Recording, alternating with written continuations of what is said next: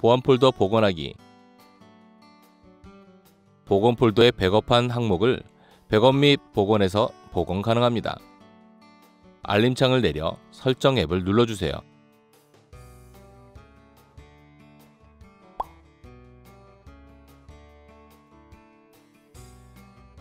생체 인식 및 보안을 눌러주세요.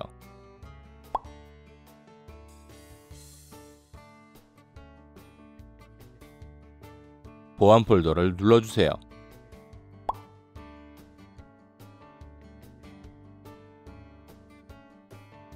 백업 및 복원을 눌러주세요.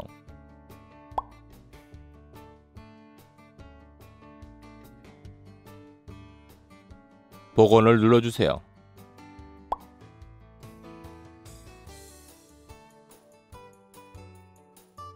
복원할 컨텐츠 확인 후 복원을 눌러주세요.